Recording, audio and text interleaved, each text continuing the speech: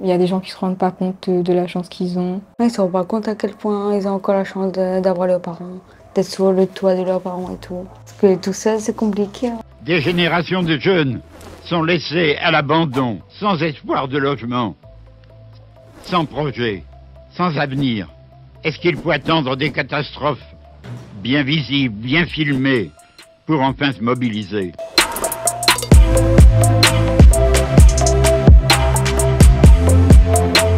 Je me suis retrouvée ici pour des conflits familiales. Et ils m'ont mis dehors. Après, j'étais obligée de faire le 115 tous les jours. Des fois, je gagnais ma place. Des fois, quand je gagnais pas, j'étais obligée de rester ben, dehors, en gros. Parce que j'avais personne euh, pour m'accueillir.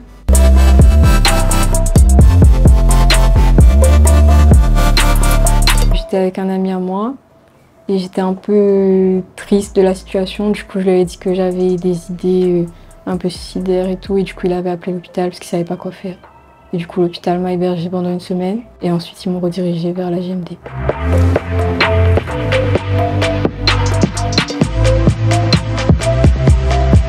Pour moi, en tout cas, le problème, c'est qu'il y a des familles qui se rendent pas compte, euh, par exemple les parents, etc., que bah, c'est leurs enfants et que c'est pas forcément normal de traiter ses enfants comme ça. C'est juste fait ça de mettre, de mettre leurs enfants dehors comme ça et se pas poser la question, ben, qu'est-ce qu'elle va faire, comment elle va vivre, comment elle va grandir.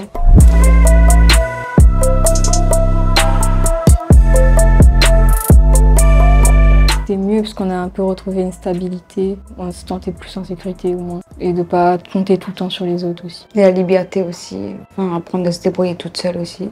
On a quand même de la chance euh, qu'il y a la GMD, qu'on soit pas totalement dehors, qu'on peut encore s'en sortir. La solution, c'est que déjà, on prenne plus au sérieux les jeunes, par exemple pour trouver du logement ou du travail, et que les familles en général se rendent compte euh, de la gravité de ce qu'ils font.